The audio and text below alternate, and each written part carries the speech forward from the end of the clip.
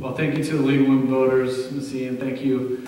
Uh, Thank to all of you for being here. Uh, Really appreciate you coming out on a rainy night with the Red Sox hopefully winning tonight. Um, That's something that we can all agree on. Um, I do have the honor and privilege of serving as state senator for Hopkinton, and Warner, the most active and engaged and informed electorate in the state, in my view just incredible people uh, on both sides of the aisle uh, that are so engaged in our democracy. It's been an honor uh, and a joy. I live in the south end of Concord uh, with my wonderful wife, Erin.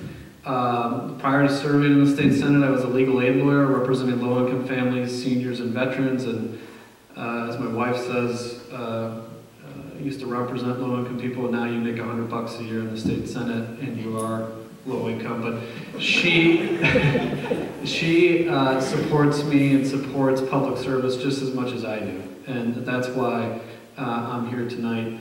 Um, we have a wonderful 14-month-old daughter. We have a new daughter at home, three weeks old, named Josie, um, and a new addition to our family. Uh, and we also have two dogs, Franklin and Roosevelt. Um, so it kind of shows you where I come from, um, degree.